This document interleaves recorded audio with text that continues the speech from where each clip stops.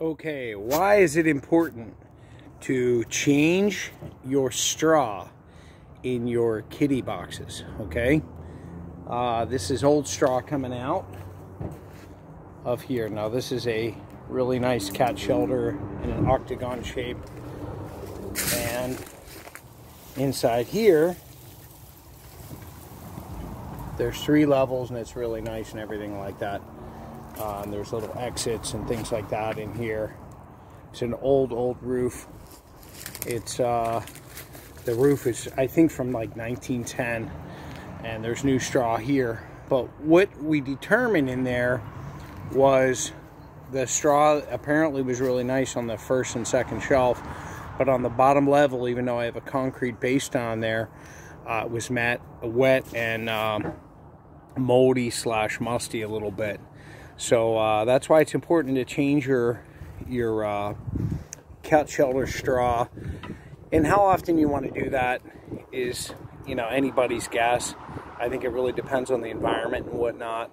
Uh, this was watertight until I had an issue with the roof. That's why uh, my friend Tom up there went and put uh, some new metal and stuff on there. So that's when I said, hey, it's decide, you know, it's time to get in there. So uh, we're doing that and some other cat shelters on the property today. Everybody's spayed neutered as they should be. If you like animals, if you like cats, it's a great program, TNVR, Trap, Vaccinate, Neuter, Release. If you hate cats, it's also good because I don't want cats all running around. So it's time to uh, deplete the populations humanely. Trap and kill doesn't work. But the main thing is really talking about um, really changing your straw. So these are bales here. Uh, there's four bales. I got some other shelters down here on my property.